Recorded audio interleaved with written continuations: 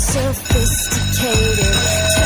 all students! Monster biology is canceled until further notice. Please return all stolen limbs to the biology department. Here I am.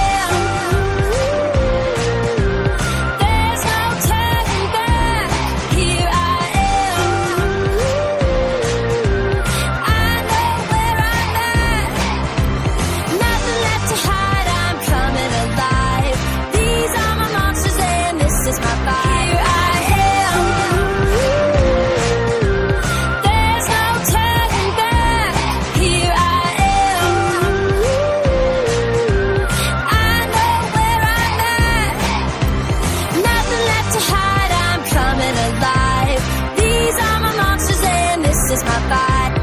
Here